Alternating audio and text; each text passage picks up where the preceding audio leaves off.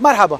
مثل ما وعدناكم من مدة قريبة أنا والزميل رامي الجودي رح نقوم بتجربة أيقونة الفخامة المطلقة سيارة رولز رويس جوست الجديدة بالكامل. واليوم هالوعد رح يتنفذ ورح تتم تجربتها على شوارع دبي. أكيد لاحظتوا تصميم الجوست الجديد من الخارج و البساطة اللي طاغي عليه بشكل كتير كبير فينا نشوف مصابيح الجديدة يلي تغيرت بالكامل وفينا نشوف ال stainless steel يلي موجود على الواجهة من خلال الشبك وبتوفر داخل الشبك إضاءة LED وفينا نشوفها خلال الليل. هيدي عم تعطي طابع جميل جدا للسيارة. أكيد عن جنب فينا نشوف البساطة الطاغية وإمضاء رولز رويس من خلال الأبواب اللي بتفتح بعكس بعضها.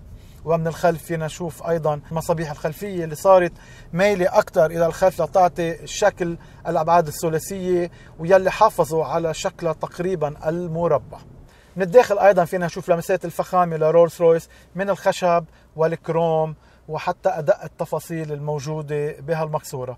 العدادات مثل ما شفتون صاروا شاشات digital ولكن حافظوا على أشكالهم الكلاسيكية من خلال وضع الكروم حواليهم. وأيضا فينا نشوف المقود بأزرار التحكم عليه والخشب وحتى الجلد. أكيد ما ننسى مزج الألوان والخياطة وأدق التفاصيل الموجودة على الكراسي الأمامية وحتى الخلفية. خلال إطلاق رولز رويس جوست بدبي من مدة قريبة كان في لنا جلسة مع الزميل رامي الجودي يلي شرح لنا بشكل مفصل عن هالسيارة الجديدة بالكامل وكيف تم تصنيعها من الصفر الأشياء الوحيدة اللي تم مشاركتها بسيارات رولز رويس هو شعار ال Rolls Royce Spirit of Ecstasy وحتى المظلات الموجودة بالأبواب. هيكل جديد من الألومنيوم وقاعدة عجلات من الألومنيوم.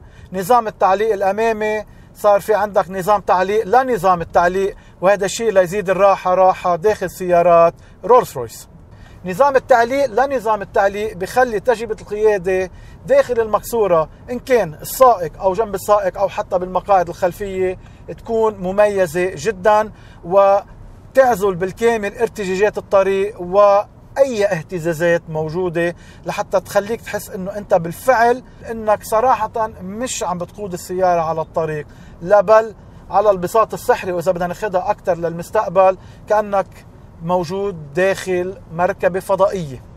وبالرغم من إنه العزل كان أكثر من جيد بالسيارات والأجيال السابقة إلا إنه المهندسين أصروا إنه يزيدوا العزل أكثر وخاصة من خلال الصندوق يلي بيدخل الارتجاجات والأصوات ووضعوا زو... ألواح زجاجية لتعزل الأصوات من الصندوق. وأيضا تم تركيب قاعدات للكراسي لحتى تتناغم مع حركة الجسم داخل السيارة وما تخلي الضجيج يضايق الركاب الموجودين بقلب سيارة الروس رويس جوست. محرك ال Ghost 12 أسطوانة سعة 6.75 لتر مع twin turbo. القدرة الحصانية 571 حصان والعزم 850 نيوتن متر. هالمحرك موصول بعلبة تغييرات اوتوماتيكية والمميز فيها إنها متصلة بالأقمار الصناعية. هذا الشيء لحتى يساعد على الطرقات الجبلية الطرقات السريعة أو الطرقات اللي عليها مطبات إنه تعطي إنذارات مسبقة وتخلي تعشيق النسب يكون حسب وضعية القيادة وحسب زاوية الانعطاف أو أي شيء موجود على الشارع ورح توصلوا عليه مسبقاً. وأيضا بتتميز ال Ghost الجديدة بالتوجيه بالعجلات الأربعة وأيضا دفع رباعي.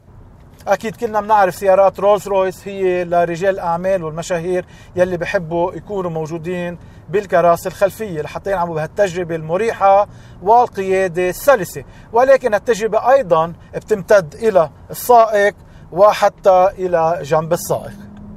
أكيد هالهدوء الموجود داخل المكسوره بيعود لأجهزة التعليق يلي صنعت لأجهزة التعليق وهذا شيء جديد لأول مرة عم بيتم إطلاقه على السيارات بالعالم. وعندنا أجهزة تعليق بتساعد أجهزة التعليق لحتى تخلي هالقيادة ومتعة القيادة على الطرقات كأنك ماشي على طريق من الحرير. بنهاية التجربة رأيي برولز رويس إنه سيارة الفخامة المطلقة. هذا الشيء عم تشوفوه من خلال التصاميم من خلال لمسات الفخمة الموجودة داخل المكسورة وخارج المقصورة. إذا بتحبوا تعرفوا معلومات أكثر عن السيارة لازم تشوفوا المقابلة اللي قمنا فيها مع الزميل رامي الجودي ويلي شرح فيها كل شيء عن السيارة مواصفات أداء السيارة محرك وحتى الأسعار.